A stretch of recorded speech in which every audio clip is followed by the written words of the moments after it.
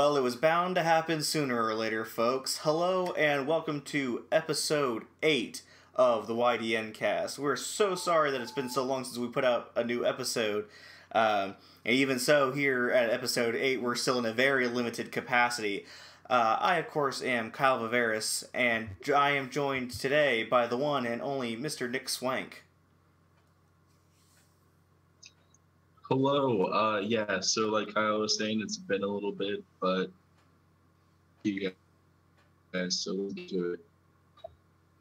Yeah, so it'll be a little bit of it'll be a little bit of a different kind of show this week, but we definitely wanted to make sure that we're um, getting some of our we're getting our content out there so that way we can still be bringing you the latest in video game news. Of course, this is the YDN cast, which does exactly that, brings you the latest in everything gaming related.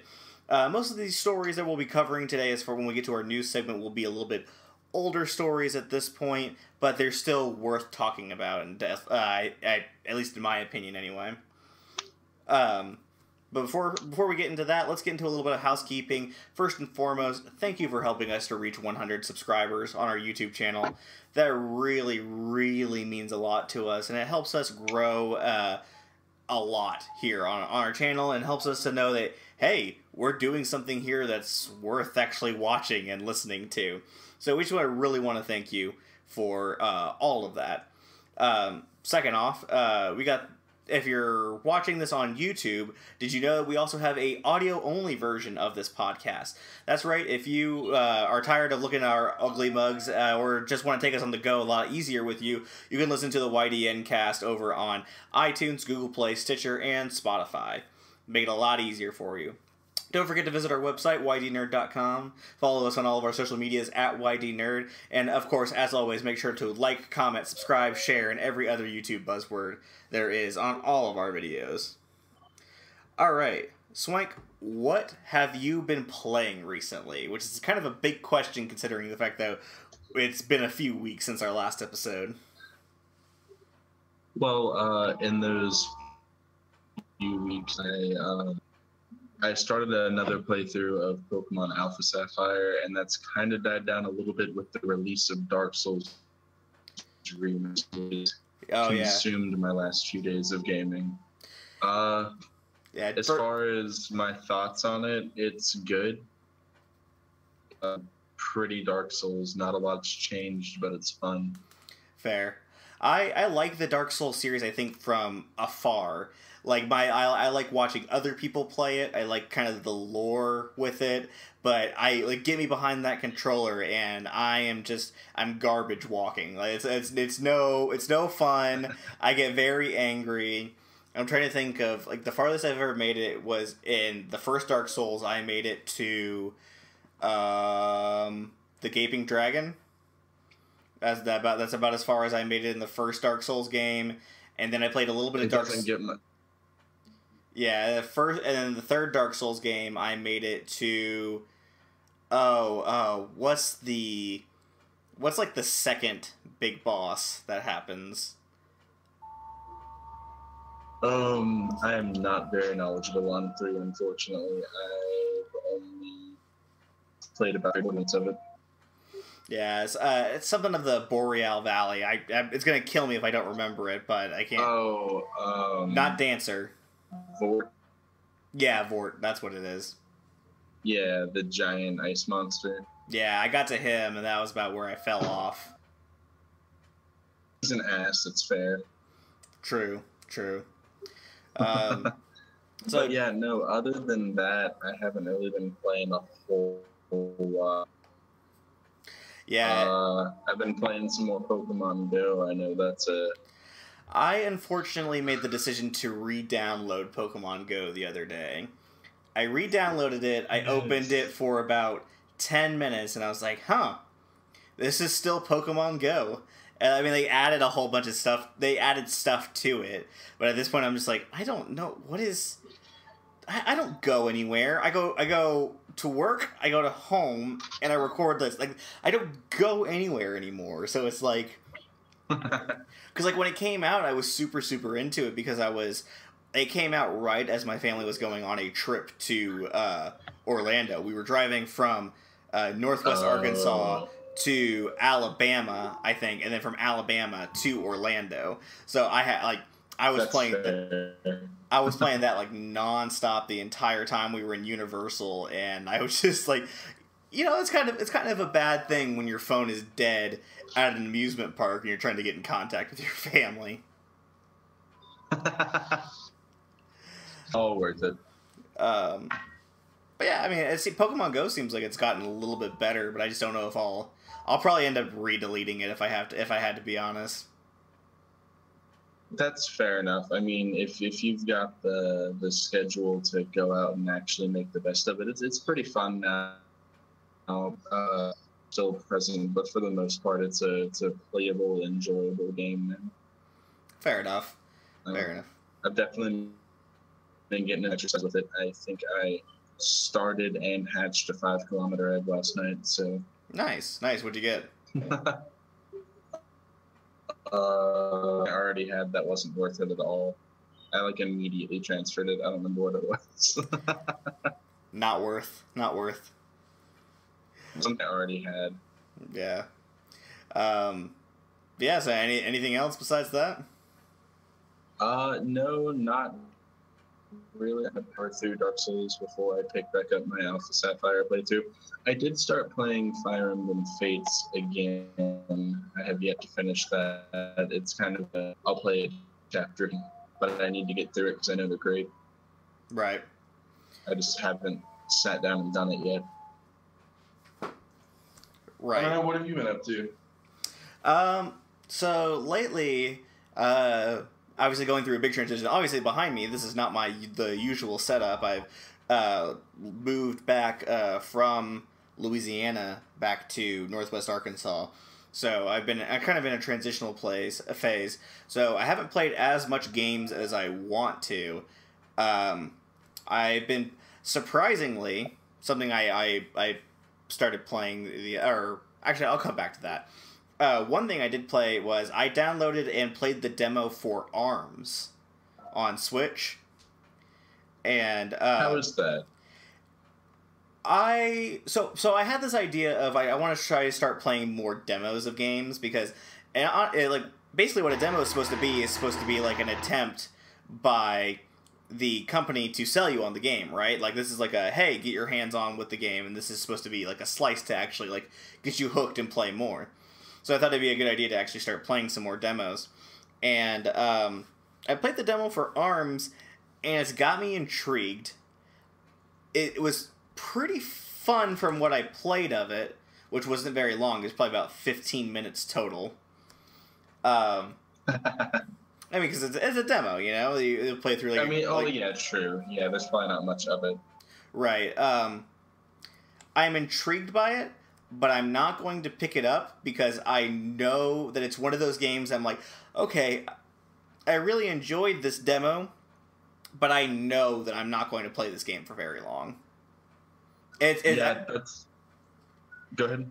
It just it just has one of the, the like the feel of that like it's like i can tell from like the limited time that i played of it that it's like this is fun and this is for somebody but this is not for me Yeah, that's the issue I'm having with Dark Souls Remastered. I've played the original version so many times. It's like, yeah, it's new, but it's not really fresh. You know, I've Yeah. already gotten most of what I'm going to get out of it. This has been more so to go, ooh, that's really pretty now. You're right yeah right um i can definitely Ooh, that's a consistent frame rate. Right. Uh, but I can definitely see uh, what's the main character's name? Spring Man. I can definitely see him being a playable character in Smash because like because like nin- I, I I would almost be willing to put money on it honestly because like Nintendo has still like can, even though Arms hasn't been like blown people out of the water like Nintendo is still continuously trying to push Arms and they're trying to do like this invitational tournament and stuff like that so it would not surprise me if you see Spring Man or Yeah, but- Ribbon Girl in uh, Smash Brothers. Definitely, like, be feasible. I don't know. It's it's hard for me to try and predict what they're gonna do with Smash because with Smash Four, it just some of those character choices did not make a whole lot of sense. I guess I don't know. Yeah, true, true. Um, so I played that. I um, have playing have been playing a lot more uh, Hellblade: Senua's Sacrifice, and I'm probably I've probably got like maybe about an hour left of that game. Um, really getting into the very You were, end. you were you were talking about that game uh, last cast. I think so. Was that the last was last episode the one that we had Dan on there? Yeah, yeah. Yeah, that, that was the last time I, uh, I I I've got a little bit of it left. I would say I probably have about an hour left of that game. That game goes some places, dude. It um certainly goes some places. It gets hella dark. I I play I've played a lot more since since the time we talked about it on the last episode. Um, man, that that game goes some places. Like I basically so um the reason why I kind of got back in, I, I kind of took a break from it for a little bit because I was like, okay, this game is really intense and it's get, it makes me like really anxious playing it. So I kind of want, I kind of took a break from it for a little bit. Um, but really, what got me back into it is I actually um, ended up watching a playthrough of. Um, I ended up watching Jacksepticeye's playthrough of God of War, the new God of War game, and that's you know that obviously Ooh, that's how's that? Oh god, it was so good. Such a good story. It even though I've watched somebody already play through it, it makes me want to buy a PS4 just for that game. Like even though I've already watched somebody play through it. That that like that should say something. I like there are some parts that drag and it very much has a there's a part in there where it goes from um oh, we're sorry, but your princess is in another castle basically. Like little moments like that of like oh, hey, you're almost to this point, but you need this item now. Oh, well, you thought you just needed that item, but you also need this item now. And there, and it kind of drags. That's probably about like three quarters of the way through the game, and it's like, it it still it still holds up. The storytelling is really good. The story overall is really good. The gameplay looks like it it, it works really really well, surprisingly. And there's a lot of oh shit moments in that game. Um, yeah, that- what I've seen of it looks pretty good. I've been staying away from like full playthroughs, gonna get anything too major spoiled, but it, it seems like a really great game.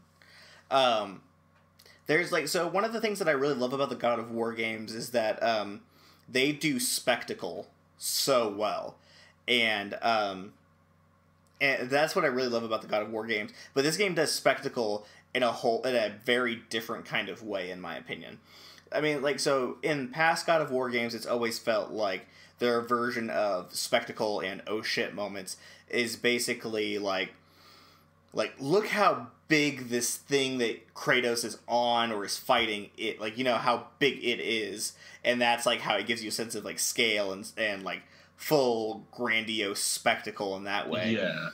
And this game does something uh, a little bit different with spectacle and i'm trying to like trying to figure out how i can talk about it without like really talking about like like with spoilers because i mean there is still one part where there is something like really really like there are multiple things that are really huge that kratos interacts with.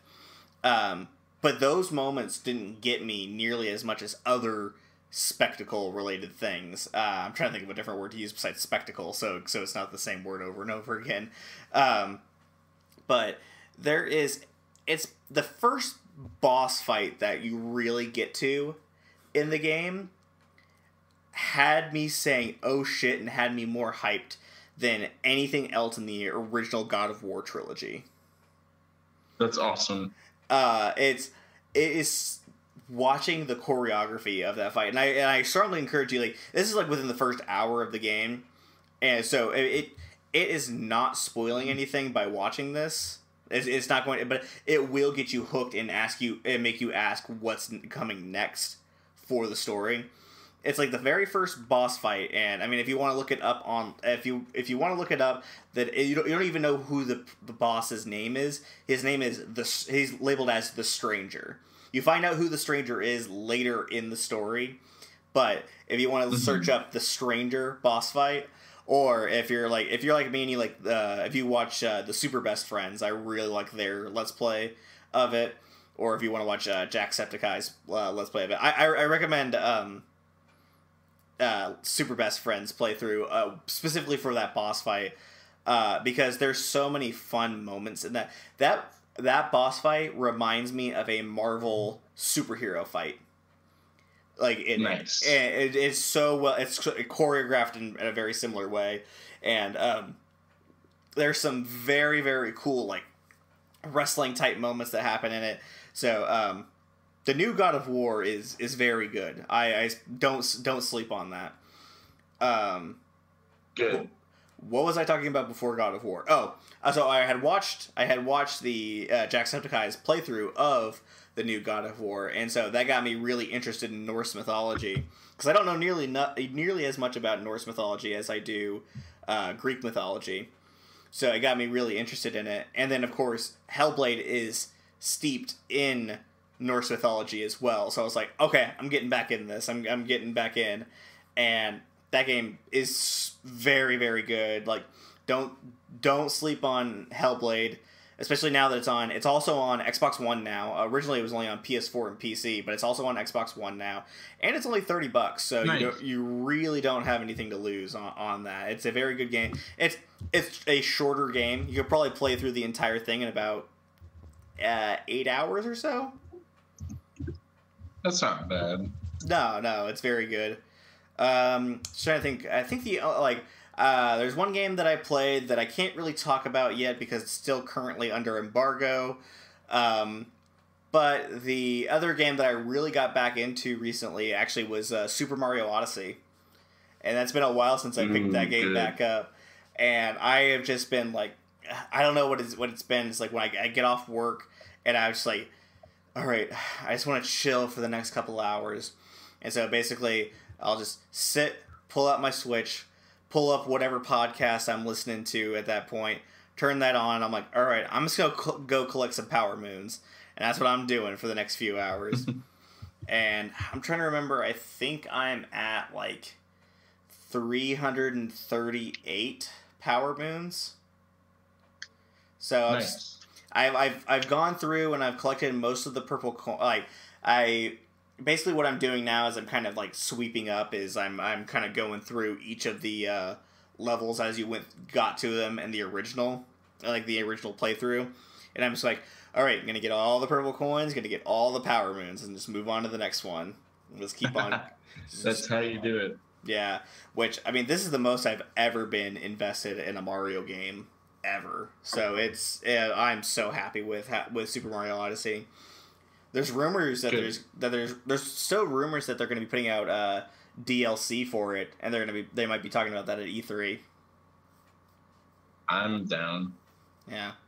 Which is also a wonderful segue into our very first news story for this week. Yes. Uh, so basically, our first news story this week, uh, or for these last couple of weeks, two weeks, maybe, th- maybe multiple weeks. Uh, so there was a glitch that happened over on Walmart Canada's website that caused potential E3 leaks to happen. Spoilers. Uh, Can you spoil an announcement of a game? Is is that or it, I guess. I don't know. Like, I'm not necessarily like, like I'm not upset that these games got like spoiled, I guess, or leaked. It's just it's it's a it's a weird line, you know. It's um like kind of. I, I was listening to this on one of my uh one of the podcasts I listened to called um the Chomp Cast, and they were talking about like Mhm. what is the nature of spoilers. You know, is it are can you like can you spoil like a game announcement or is it more of a leak and it just you know that it's going to happen it's i don't know maybe it depends on what game it is I think it depends on the person receiving the information. right or how they receive the information i think maybe you know Yeah. True. because i mean like Anyway. because i mean like if they're clicking on an article that says that the game is coming that like oh this happened and they click on the article and it's like okay here's got all this stuff it's like oh i can't believe they spoiled that like there's there's no point in being upset by that you clicked on the article right That's your own fault. Yeah, that that's your own fault. Well like, Yeah. unlike something that happened to me uh, recently when God of War came out, I watched like uh, Giant Bomb put out like a video that's like the first hour of the game. I watched that and like the first like 15 minutes of their quick look video that was a little bit farther into the game and I was like, "All right, cool. I'm going to stop watching this." This was before I watched the Jacksepticeye um uh playthrough of it. And then all of a sudden on my YouTube on my YouTube feed that was coming up, it was like major story beats. It's like, hey, here's an HD version of when this part happens, like specifically naming the part. And I'm I won't do that to God. to viewers or for you or anything because like that fucking sucked. I was like, dude, that's that's like What? That's just like that's such bullshit. I I I, I don't want I don't want that in my life. It's an awful thing. It's like I had an Infinity War spoiler because of a uh, a recommended video notification on YouTube from. Damn. Yeah, I, I fuck the internet. Damn. Uh, but so back to this story a little bit. Um, some of the uh, titles that were included in this leak, some of them, um, some of them make sense. Some of them were a little bit more questionable. Uh, well, like one of them was Gears of War Five, which kind of makes sense. Gears of War Four came out a couple of years ago now, so a Gears of War Five is not necessarily out of the realm of possibility. And Gears of War Four set up for a sequel. Uh, Just Cause Four, sure, that sound that sounds about right. Borderlands Three, that game has been in development for fucking ever now. and I Uh, can't wait. uh, an Assassin's an unnamed Assassin's Creed sequel. Uh, the Division Two, which has already been confirmed, that game got announced like earlier this year, I believe. Um, a new Splinter Cell game that that's a that would be a new one.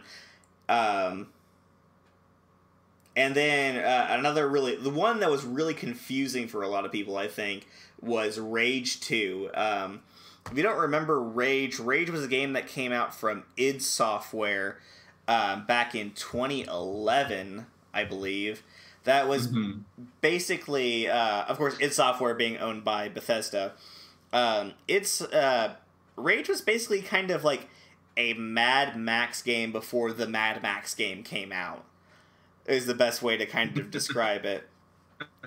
And it didn't. It was very polarizing. You either loved it or you hated it, um, and it didn't sell nearly as well as they as they projected it to.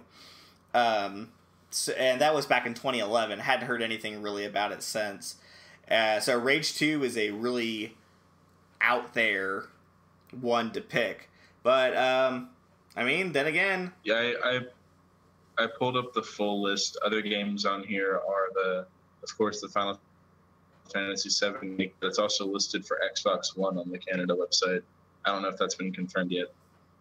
I don't know if it has been either. Um, for for Switch, uh, Lego DC Villains, which I don't know how if that's legit or not. I don't know how I would feel about it if it was. I, I I'm down. I like the Lego DC games. I like the I I Yeah. have I 100% of the last two Lego Batman games. Um unashamedly. Nice. Not the Lego Batman movie, the Lego Batman 3 and Lego Batman 2. Uh, any other games on that list? Uh, what was that? Any other games on that list? Um, nothing super major. Uh, the Fortune game, although I think that wasn't from the three. Uh, let's see. Uh, WWE 19 was listed on there. NBA 2K19 for Switch. Oh, so Uh, sports, so sports games. Yeah, sports game. Dreams had Uh, already on there. Yeah. So anyway, so some interesting Nothing ones. super major. Yeah. Um. So I guess going back. Insurgency Sandstorm. Yeah. I don't know if I know that one. Insurgency.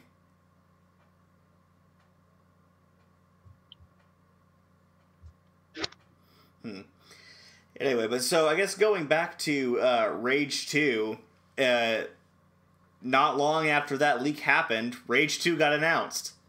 So that feels like it gives a little bit of uh, validity to to the leak. Um, it was kind of funny how they how the like the like announcement of it happened. Basically, Rage's official Twitter account took a screenshot of the Walmart listing and did a really funny like Photoshop of it with like basically MS Paint like pink style thing, like show like put an arrow to it on like the because there was like placeholder box art on there that was basically like a white background that just said Rage Two in like Helvetica font, basically. And it's like basically like that and like pink writing on there. It was like wrong key art and there's like an anarchy A on there and and stuff like that. And then Yeah.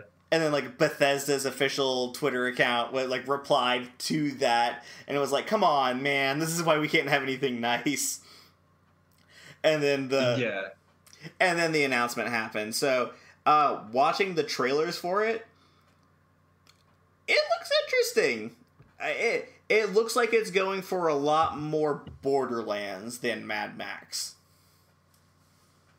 Okay. That, that's kind of the vibe. I got. It, it seems like more of a marriage of the two styles. It's funny because that's what the original Borderlands game was supposed to be. Was a Right. Mad Max game. And like, you know, what if we did that but not serious at all? Right. Right. And So while we're at it, let's just just remove fall damage because who wants a video game with fall damage? right. Um. So yeah. So I guess uh, keep your eye out for more. I mean, E3's coming up in a couple of weeks. Um, which is a good. Ex- which is a good segue. gonna into, uh, go ahead. Go ahead. I was gonna say I uh, expect to see more leaks. I feel like. Yeah, definitely. Uh, uh, I think there's more leaks. I don't think this is. I don't think this is it. Oh yeah, definitely. Um, that's a good segue to talk about, uh, I guess, uh, your daily nerd and E3. Uh, we're still trying to figure out what our plans are for E3. Um, we definitely, I definitely, at least I definitely know I still need to talk to the people involved with the YDN cast as far as E3 goes. We will be having E3 content up on the site, the YouTube channel, and the audio podcast feed. So there will be E3 content going up. So don't forget to tune in and bookmark us, share us with your friends. We will be covering E3 and we will bring you all the great news that you need to know about about E3.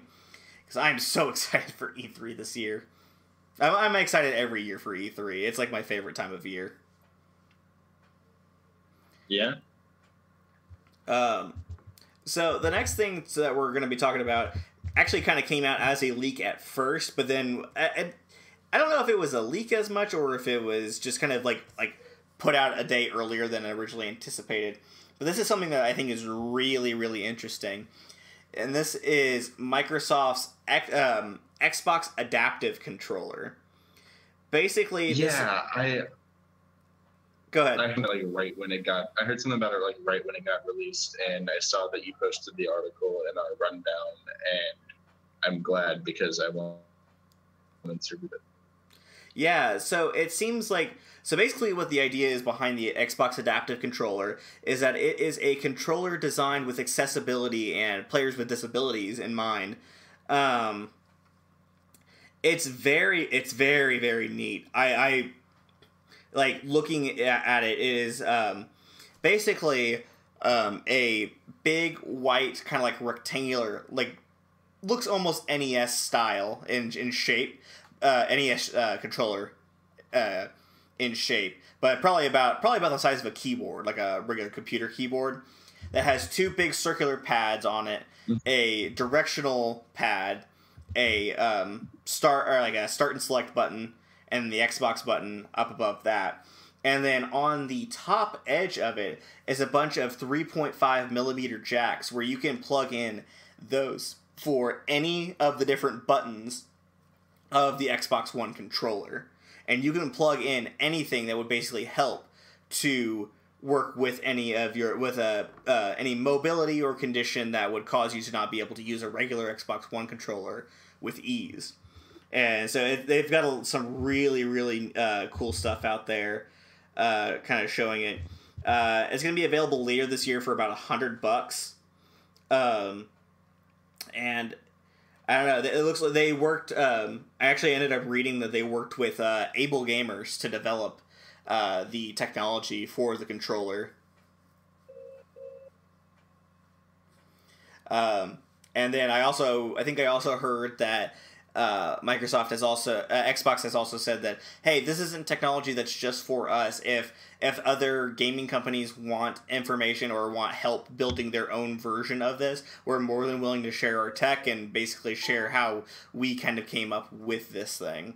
So I think that's fantastic. That's awesome.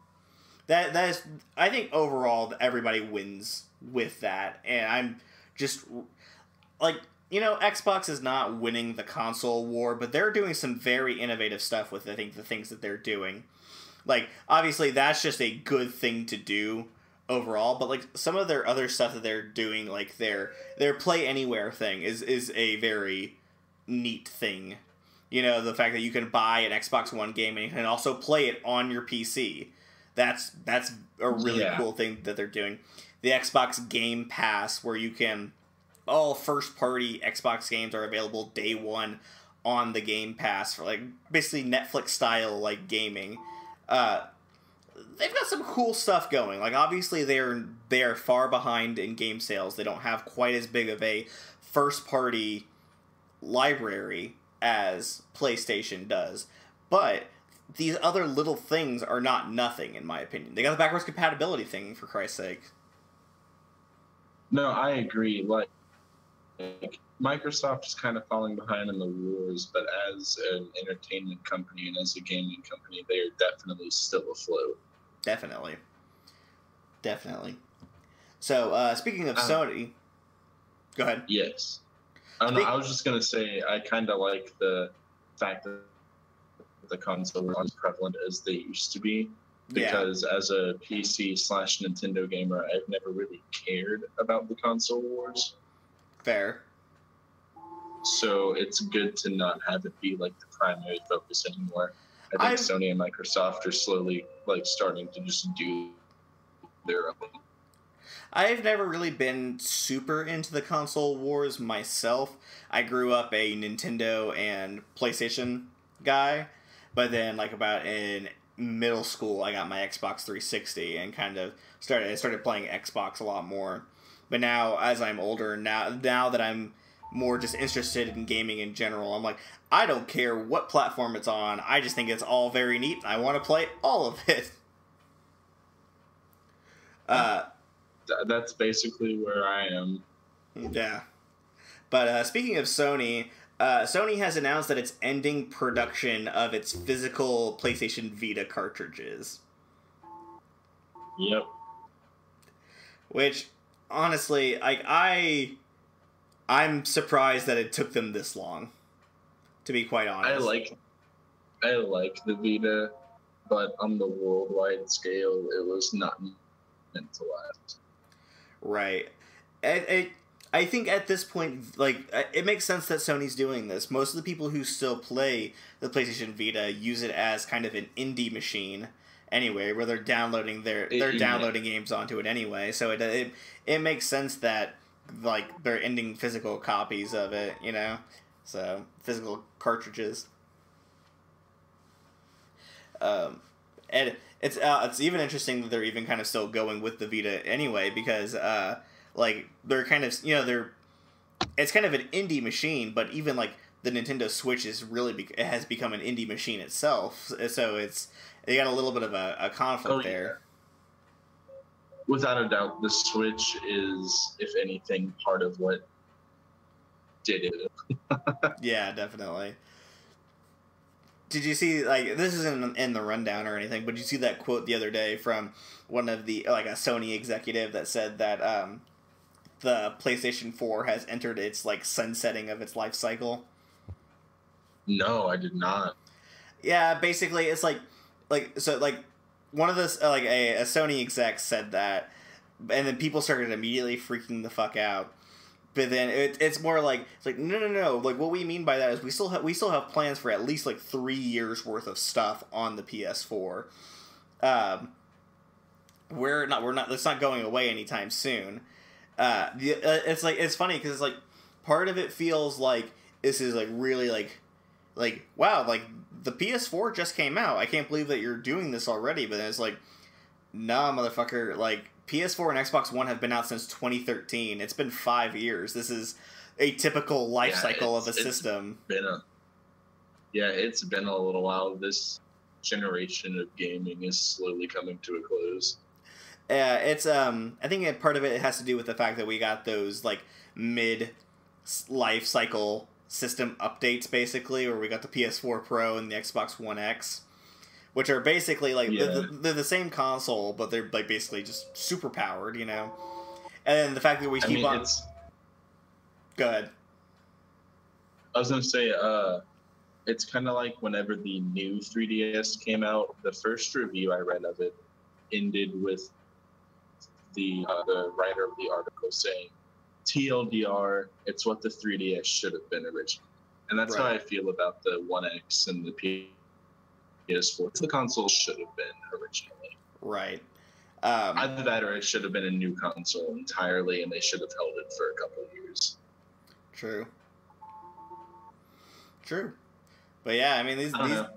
these games have they, these systems have been out uh, i mean like, the other thing i was going to say is like it seems like we keep on getting new newer and newer games that are coming out on both these systems that just keep on looking better and better and like keep on tapping into unlocked like different potential that hasn't been used before in these consoles. So it's it's really interesting to kind of see um like it's it's, it's so it's weird to hear that like oh we're probably gonna be set at sunsetting the PS4 sometime in the next few years, um because you're like dude have you seen God of War, like the look just looking at the hair on Kratos's beard like blow in the wind like the like it's amazing it's amazing to see hair actually look like hair like the texture of hair to look like hair What have you ever played Smash 4? Hair totally looks like hair. mm-hmm. If by hair you mean a singular sheet of texture. True. True. Um, moving on to our next story. Uh, a Steam Link app has come to Android devices, but at this current point in time won't be coming to iOS devices. So basically, if you don't know, Steam Link is something that they had uh, was a physical thing for a while from Valve that allowed you to plug into your TV and basically stream from your PC onto your TV in your living room, so you could play your your computer games without having to hook up your tower, basic or your rig in the living room attached to your TV. So now, Steam Link is basically the same thing. Uh, the Steam Link app will basically be the same thing, except it's an app on your phone, so you can play it, do the same exact thing. You're gonna have to, so you'll be able to play whatever game you want on your phone, still using like controllers Yep. and shit like that. Um, Yeah, it'll still use like your PC's processing power, but it's just like a it's a stream to your phone from Steam basically, yep. which is awesome. I know people that have been doing it with some games. Like uh, one of my friends uses a screen share app to play RuneScape away from home. Yeah, definitely. But I think it's Yeah, it should be should be pretty neat. It's interesting they put out an update about this uh, about this story a few days ago. Um, Valve announced that the Steam Link app was actually rejected from the Apple App Store um, for quote citing business conflicts with app guidelines that had allegedly not been realized by the original review team.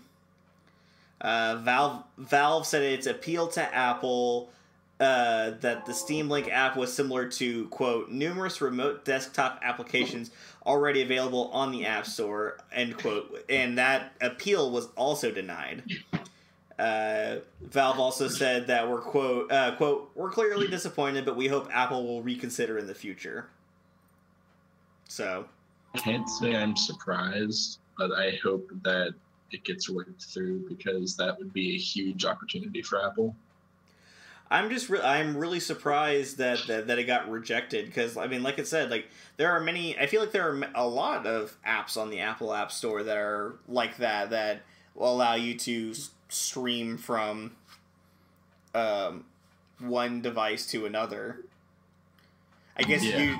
I guess usually it's from your iOS device to to a device rather than the other way around. So who knows? Who can say? Who uh, knows? Uh, real quick, can I get in a quick story that I found? Absolutely.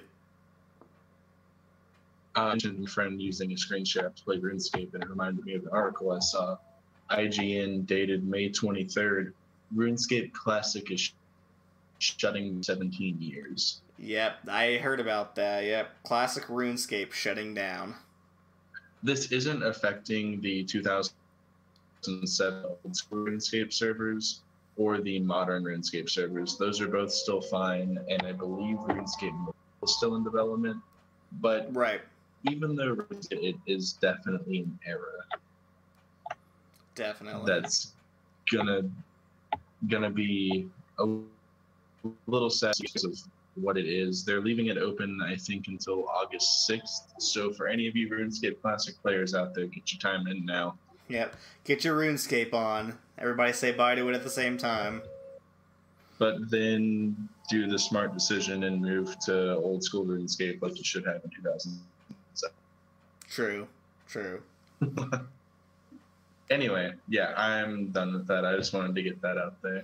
That was good. You like you saying RuneScape during that last story actually reminded me of that story. So I actually was about to bring it up myself. good. Uh, but mo- moving right along into our next story, man, we we have lots of news stories to cover this week. So um, I lot- know. Well, it's probably because we've been away for a few weeks you know, news kind of stacks up. Um, so Cliff Cliff Bleszinski announces that Boss Key Productions is no more. Uh, if you don't know who Cliff Bleszinski is, he is basically the mind behind the gear, the original Gears of War trilogy. He was instrumental with helping with that. Um, and then after the third Gears of War game came out, he left and he was like, "All right, cool. I'm quitting games. I'm going to do something else for a little bit." And then uh, he came back to games when he announced his big pro. He announced the opening of Boss Key Productions, and announced that their new game was coming out, and it was this wonderful game that we know called Lawbreakers. Um, and if you know anything about the tragic life cycle of Lawbreakers after launch, like it seemed like it was a pretty decent first person shooter. It just didn't seem like there was anything like really like it didn't grab people. I guess it just I guess uh, like it seemed kind of bland. I guess like it um, went to like no players online on Steam like within like a couple of months yeah. after launch uh, looking at an article dated April 5th, 2018, uh, the numbers for Lawbreaker had nine players on PC in the past 24 hours, according to data from Steam charts. Jesus. When did that game come out? Does it have that? So, in... What was that? When did that game came out? Come out? Is that was that in the article as well, or? Uh, uh, it came out August of 2017. Okay. Uh, it's got a that's not good rating on Steam. I guess the yeah no. that's not good. Um. So yeah, I mean, I think they went August. Yeah, like that's less than ten months later. It's yeah, not not even a year later, and it was dead. Um, so after that, they were like, "Okay, cool. We're gonna do this new game called Radical Heights, and it's gonna be a battle royale game. Basically, it's like battle royale that was like super '80s themed. It was like kind of the theme, and that had a little bit more of a positive reaction to it, and it seemed kind of popular. But like Cliff Bleszinski was like, "Nah, man." Uh, here's like the here's the official statement that he put out on Twitter. Uh, he said, "quote Four years ago, I set out to make a world class video game studio, and I hired some of the best talent in the video game industry. They worked tirelessly to produce quality products, and while we had our ups and downs, I like to think we had fun doing it. Lawbreakers was a great game that unfortunately failed to gain traction, and in a last ditch effort, we or last ditch last last ditch attempt, we scrambled to do our take on the huge battle royale genre with Radical Heart, Radical Heights, which was well received. However, it was too little, too late. Video games will forever be a part of who I am, and I hope to make something new again someday. However, I need to I need to withdraw and take this time. Uh, It, it's sad to hear that. Um, I'm not really like I like I like Cliffy B a lot. I don't like the way that this statement is phrased because it like there's more to the statement and it talks about kind of how he's gonna take some time off and reflect. Um, but like I mean, this is basically a statement about about the company itself, and it feels very focused on him. Like I I, I love you, Cliffy B, but like this is it feels very like self centered, which I don't think that was the intention, but that's the way kind of came off. Yeah, I agree. I don't know. I don't know a lot about the company. Uh, especially because didn't it say didn't you say this isn't the first time he's done basically the same thing no, I mean like I think last time he worked in games, the last time he worked in games, he worked at Epic and he worked on the Gears of War games, the original like Gears of War trilogy. That was like his last foray into mm-hmm. gaming and then he was like all right i'm gonna take some time off and that's probably how he was able to recruit like some of these like like some bigger names and be- like some of the best like designers and uh, engineers in the industry is because hey i'm cliffy b i worked on I worked on Gears of War. Like, let's go make a new game together. That, that and everyone was like, "Oh shit!" Yeah, pretty much. But I hope everybody at Boss Key Productions lands on their feet and is able to find a steady new job and recover from that quickly, because that sucks. Yeah, he did say they plan on keeping up the servers for Radical Heights for at least a little bit longer. Well, that's good yeah, so I don't know. I guess some of the uh, employees are sticking around for a little bit, and it's kind of what that sounds like. But yeah, and anyway, interesting. I I hope he straightens out whatever it is in his life he needs to work on and comes back soon because it's an emotional step back for him. Yeah. Yeah moving right along, GameStop CEO uh, Michael K. Mauler has left the company after uh, three oh, after three months of work for quote personal reasons effective immediately. Uh, basically, nothing has been disclosed. Uh, apparently, it was a shock. So I hope everything's okay. Yeah. Uh, um, I guess right now, uh, Daniel A. Mateo, uh, DeMatteo, uh, the executive chairman of the board of directors for GameStop, will serve as the interim CEO until they find somebody else. Uh, I guess he's actually one of the co-founders. yeah, he was also interim CEO after the previous CEO's death uh, in March. So in between the time period between uh, Raines and Mauler. Yeah. So, man, that's weird. Like three months is a yeah. It makes you it makes you wonder if, if there's something if there's something weird that happened. You know, yeah, for it, personal it reasons.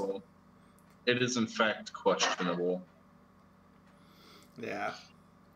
Um. But yeah, I guess uh, keep your uh, ears out for if there happens to be any more information on us to maybe we'll he'll put out a book someday and we'll know why he left uh, GameStop.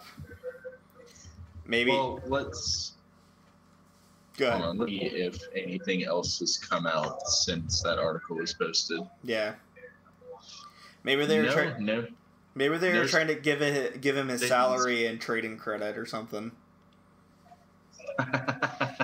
uh, yeah, that'll be uh, 357. Oh, well, what if I wanted it in uh, cash? Oh, that'll be like a dollar. Uh, dollar twelve. Yeah, no, there have been no posts since May 11th. I typed .bio steps down and found about nine articles from May 11th, but nothing since. Interesting. Well, Who knows? maybe it'll be one of those things that we'll just never know. I maybe like I like speculating what as to what it was like. Like you you think maybe there's just like like all right, we could pay you, but we could only pay you in Game Informer subscriptions. That's all. that's all you can do. It's like, please, I need two 12 month. Please, I need money to survive. I need food for my kids. Did you mean Game Informer subscriptions? We've got food on the cover of this month's Game Informer. Power to the players. Jesus. Jesus Christ. Oh god. I, I hope everything's okay with him. I, I hope I don't come off as a total dick with making these jokes. It's just it's just fun to speculate sometimes. I, I'm gonna find out that something really bad happened is happened, and I'm going to be feel like such a dick. Got like extorted out of the position. Yeah, exactly. God. Well, until then, we will continue expect me and informal jokes. Yep.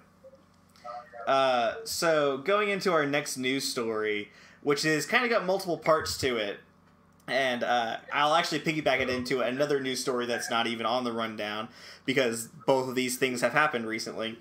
So we have the big reveal of Call of Duty Black Ops Four. You know, we've talked about on the podcast uh, a couple episodes ago ago about like the tease of it of of the actual like of the initials of the four on the like being four lines. Apparently, that's fine. That actually is like a that is actually a legitimate way to do Roman numerals for four is four lines. Apparently, It's just really old, I think. True. Yeah, I guess so. Um, but they did a big reveal event uh, for Black Ops Four. Uh, they first of all they confirmed that there is no single players focused campaign, which really makes me bummed out. Because the Black I Ops mean, campaigns are my favorite. I'm not surprised anymore. It just kind of sucks. I Yeah. would like to have it. True. But for whatever reason, so it's the kind of the way they're making it out is that the multiplayer is going to have a f- more focused kind of bring in from their single player experience, and apparently, Black Ops Four is set in between Black Ops Two and Three, as far Hmm. as chronology goes. So there's no wall running and not as many robot men, kind of thing. Okay. Good. Yeah. Um, but they showed off um, a big uh, portion, a, a good amount of zombies mode for Black Ops 4, which is going to uh, ship with three zombies maps. Um and Ooh. two of which are brand new, and one of them will be basically like an HD upres of Mob of the Dead, which is the one that was on Alcatraz. Yeah, yeah, yeah, yeah. Okay. Cool. uh, and one of those one of those new zombies map so you get to fight the zombies you got to fight zombies on the titanic and that's just Oh, no. really stupid and i love it honestly Oh. like i want to be mad that they got Oh, rid of my single player campaign but man do i want to fight zombies on the titanic so bad I in fact do want to fight zombies, and if that's the trade-off we get, then damn. But I'm gonna make the best out of it. Like one of them is fight you fight the zombies on the Titanic, and the other one is like you fight zombies back like you time travel like back to like the Roman Colosseum, and you're fighting zombies in a Roman Colosseum. I don't know if that means that you're using like what even is? I don't know if that means that you're like like if it's like you're using like swords and like flails and like morning stars and shit. But that's kind of like guns. Still guns. nope, still guns. Okay, fine, sure, whatever. Give me my Black Ops zombies. Um, Jesus fuck. Uh, so obviously they showed off a lot of their multiplayer uh, game offerings, which are very, very similar to what they've always been. But then, of course, they all also showed off their mode that they're calling Blackout, which of course is going to be their version of the Battle Royale mode. They didn't show off any gameplay Of for it. They put out a cinematic that basically owned it. They were like, "We know that you like battle royale, but there we're gonna do it the Call of Duty way." That that's basically the summarization of what that video is that they put out. It's like we're like we know Jesus you like battle royale, so we're gonna do it too. Is basically what that video ends up sounding like. It's it's it's kind of pretentious, honestly. And they're what like, the hell, Activision? there's a part in the video there's a part in the video where um, they're like we're going to be using the biggest map that call of duty has ever offered. That's almost that's almost 1500 times the size of nuketown. And it's like oh okay but like nuketown is a really small map.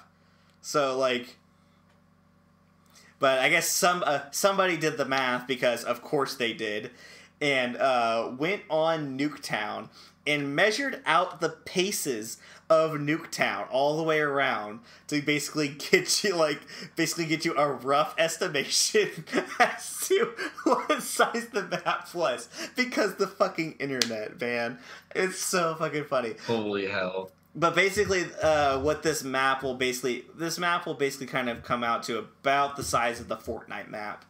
Is is about is kind of what you're looking at, uh, and it's going to offer uh, land, sea, and air vehicles, which is very interesting because Call of Duty doesn't usually do that in their multiplayer. Yeah, that'll be interesting. I'll I'll be interested to see like what how combat ends up kind of working in that. Um, I heard that like Yeah. like one of the main difference. So I mean, everybody kind of knows if you've played Call of Duty before that like um, how combat works in there is like if you're getting shot and you're close to death, you like hide, crouch behind something, you wait for a second, and you heal back up as hundred percent kind of health.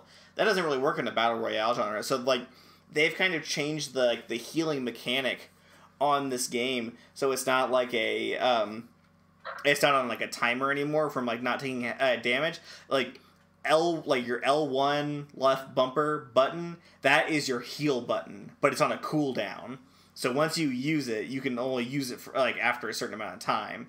So it changes it up a little bit. So it makes so I mean, I guess. so if it's if it's a consumable like that, and you can only use it once you hit the left bumper or like once you pick one up, it makes sense that they could work a little bit better in the battle royale scene anyway. Yeah, I mean, I guess it sounds like it would work. It's not what I would have done, but it sounds like a feasible solution. Yeah, I I'll be interested to see kind of how that goes. Um,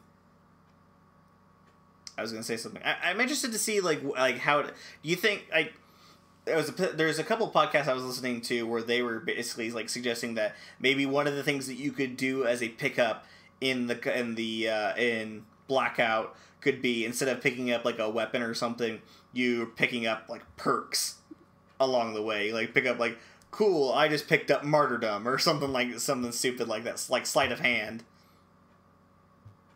Yeah, I mean, I could see it. That I think that could work. It'd be neat. Yeah, I'd definitely be interested. definitely. Uh, Until October 12th, that's when we'll know. shit, I'm sure we'll we'll we'll hear more about that coming up in E3 in a couple weeks. I would I would venture to say that we will he- we will hear about it soon. Uh, but that also kind of only hope. That kind of also rolls into another news story that sorry Swank is not on the rundown, but talking about Oh, you're good. You're good. talking about Battlefield 5 because that reveal also happened recently. Yeah, it did. Ooh. And that game looks pretty damn good. I cannot wait. See, I'm not a big Call of Duty guy, but I love Battlefield. See, I the only battlefields that I've really gotten into were the Bad Company games. Um, but uh, I I can appreciate how like I can appreciate the Battlefield fandom. Like I can I can understand why people like it. It's just besides bad It's- Bad Company, I, I've har- had a hard time getting into them in comparison to Call of Duty. Yeah, uh, you definitely. I don't know. Hmm. Battlefield is more fun, the more content, there, in my opinion, hmm and that goes for like yourself as well. Battlefield's definitely one of those games that's more fun the better you are, and that's not to say I'm good at it because I'm not. But True. True. I don't know. I'm excited. Battlefield's awesome. Yeah. So this is what we've we've got so far as far as like Battlefield 5 and what they've revealed for it. They've revealed and announced that Battlefield 5 is going back to, is going to World War II. Uh, which Mhm. I wish they would have called it Battlefield 2. Because after Battlefield 1 with World War 1, you should call Battlefield 2 well, you should call the battlefield about World War II Battlefield 2 in my opinion. Uh, let's, Battle, Battle uh, there's not going to be a premium pass on the game, so like all the expansions will be coming out for free.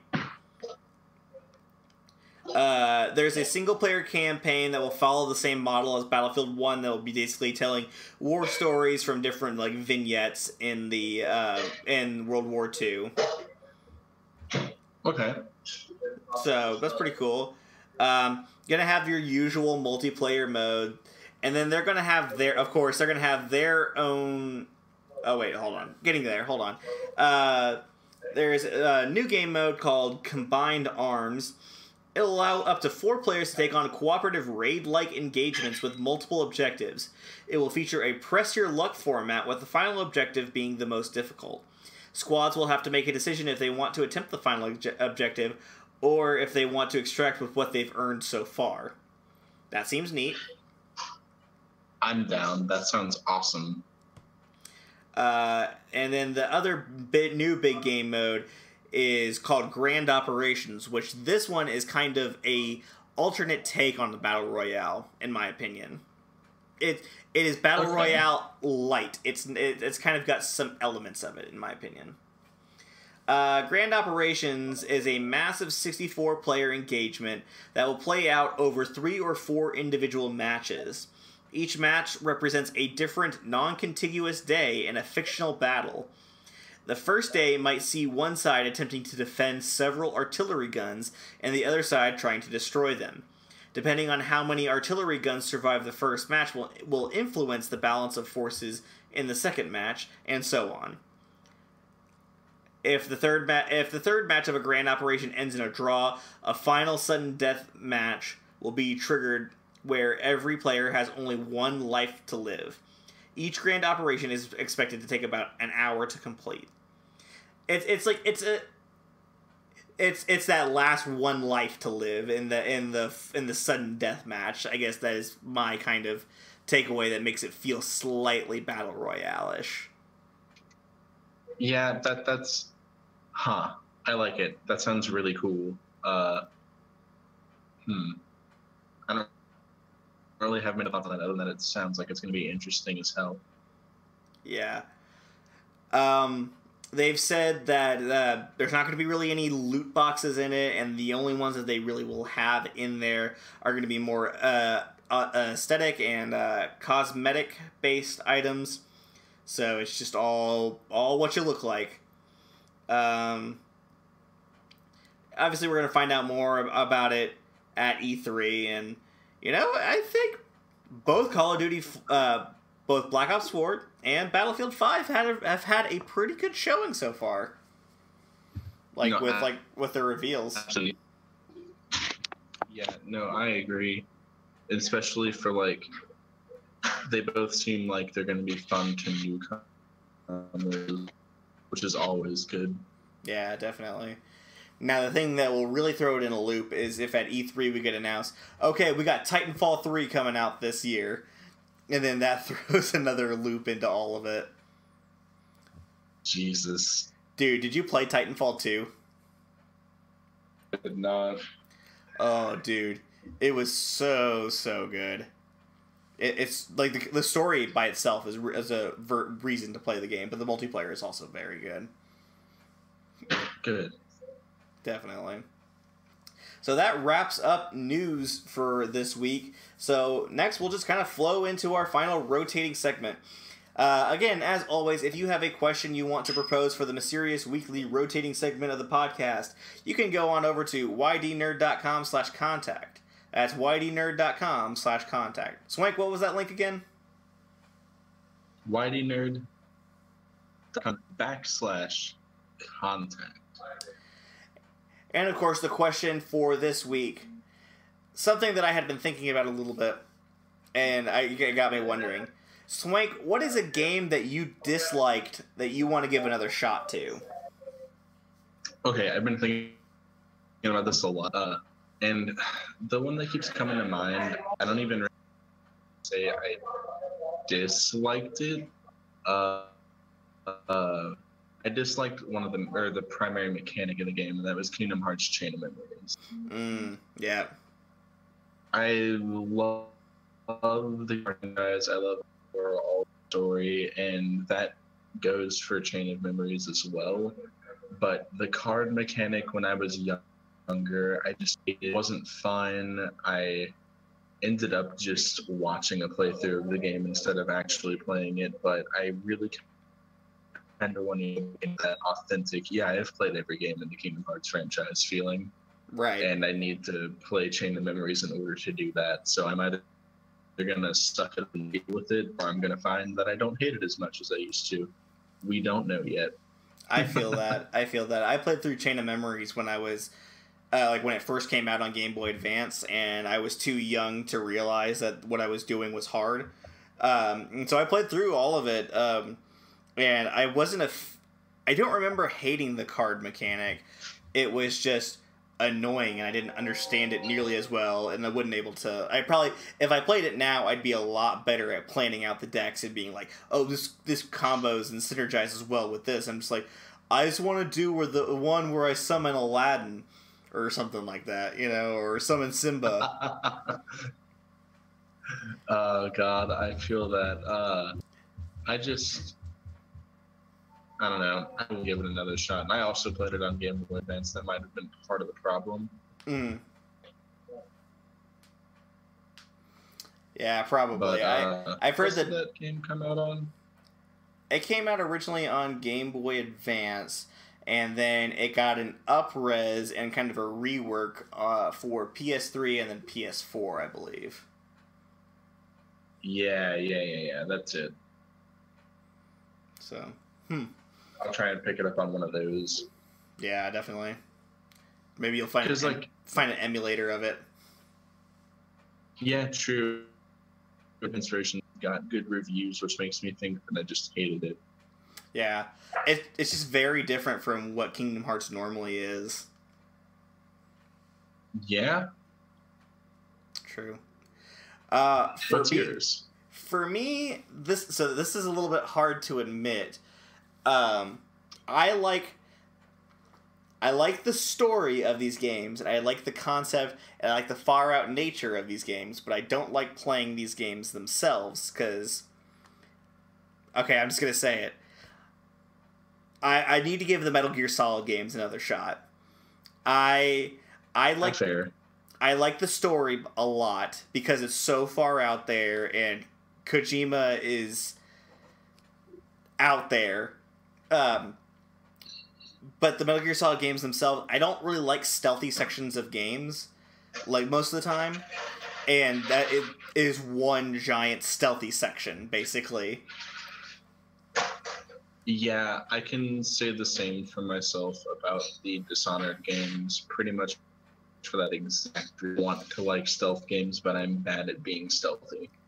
Uh, you see, like Dishonored is another one. Yeah, I got Dishonored is one that I would put on. Uh, Dishonored would it would be one that I would also put on this list of like, man, I hear so many good things about this game, but I I played like at least the first half of that game, and I was just like, man, I cannot get into this. Like this, I if, if that game always felt to me like it was trying to sell you on the you have your own way that you can play this game, but it was more like, well, really we want you to play it stealthily because if you do it in open combat, you're gonna get fucked. We're gonna punish the fuck out of you. Exactly, exactly. So I don't know. I like I Dishonored. I really wanted to like. Uh, maybe that's another one that I'll have to try. I used to be that way actually about the about Destiny. I really wanted to like that game at first, and then so I gave it another shot when uh, Destiny Two came out, and I actually ended up liking it a lot more when I really wanted when I got back into it. So I don't know. I'm much I'm much more so of a liking people or liking to watch people play Destiny than I am actually playing it. Yeah, that's fair. I, I actually thought about getting back into Destiny when like these new expansions were coming out, but these new expansions like did basically nothing for the game that I thought that it should. So I was just like, no, you know what? I'm gonna save my time and my money. There's no point in me getting back into this right now. Fair enough. True. Let us know in the comment section below. that's mine. Let us know in the comment section below as to uh, what game you dislike that you're going to try to give another shot to. And then if you do, let us know how that goes. Did you hate it even more the second time, or did you actually come around on it? But I think that's going to do it for this week's episode of the YDN cast. Nick, thank you for being here with me on this. Always, always. I mean, hopefully next week our, our other compatriots will be able to join us. But this was fun. Yeah, definitely.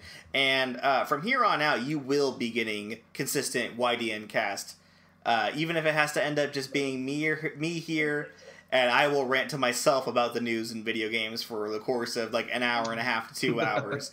if that has to be the case, fuck it, that's what we're doing. But you're gonna get a new YDN cast every week, or else my name isn't Kyle Viveris, Which it is. So we're gonna. which it is.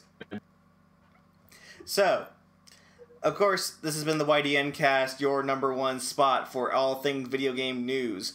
Um, like always, please like, comment, subscribe, share this video with all your friends, tell everybody about us. Make sure that you watch everything because we put out awesome stuff.